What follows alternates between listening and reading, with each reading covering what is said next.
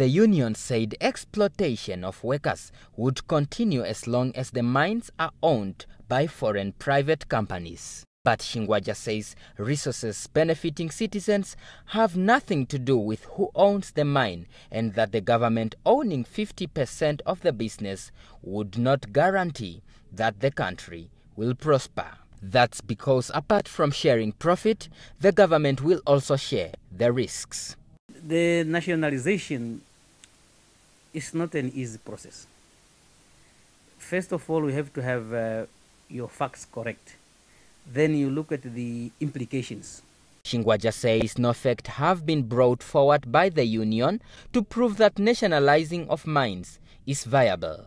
Research and evaluation needs to be done before such an idea can be passed to cabinet and parliament for discussion. First of all, do you have the capital to buy what you want to nationalize? And look at the issues, how much that will cost you to do that in, in terms of monetary terms uh, then you come to the capacity of the human resources to run such an operation.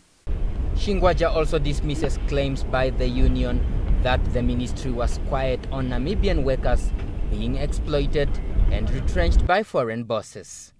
He says it was the responsibility of the unions themselves to defend the workers they represented. Only if they are unable to solve the issues, he says, are such problems referred to the Labour Commissioner for Conciliation and Arbitration. Daniel Nadunya, NBC News, Windhoek.